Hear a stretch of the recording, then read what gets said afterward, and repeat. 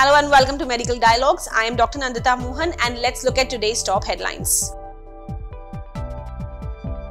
Darbepoetin alfa CRESP boosts hemoglobin levels in chemotherapy-induced anemia results of Indian analysis. Darbepoetin alfa effectively increases hemoglobin levels and reduces blood transfusion needs among chemotherapy-induced anemia patients, results from the latest Indian retrospective study has revealed. The study has been published in the January 2025 issue of Frontiers in Oncology. Anemia is common in cancer patients with 39% anemic at diagnosis and 13% developing it during the treatment. CRESP contains darbepoetin alfa and erythropoietin stimulating agent of recombinant DNA origin, this retrospective study included 523 patients with advanced metastatic solid tumors on palliative myelosuppressive therapy treated for CIA.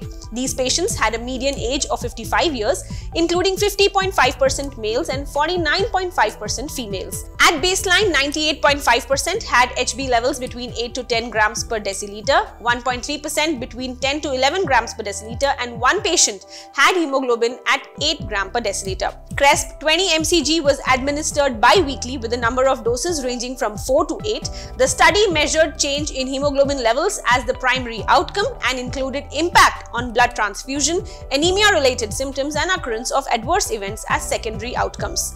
Key results of the study include significant improvement in hemoglobin levels. Patients receiving CRESP showed a mean hemoglobin increase of 2.28 gram per deciliter from baseline, that is from 8.56 gram per deciliter to 10.84 gram per deciliter, showing strong efficacy in anemia correction. The benefit was noted across patients with breast, gastrointestinal, genitourinary, gynecological, lung, head and neck cancers and across varied chemotherapy regimes reduction in blood transfusion dependency. At baseline, 50 patients, that is 9.6% of patients required blood transfusions.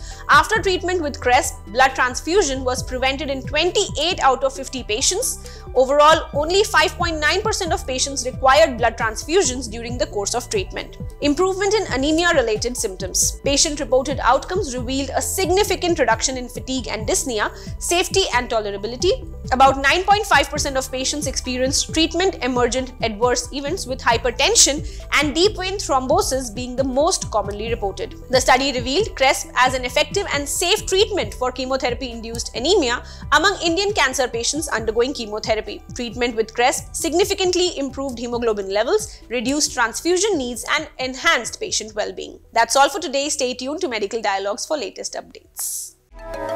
Never miss a medical update from Medical Dialogues.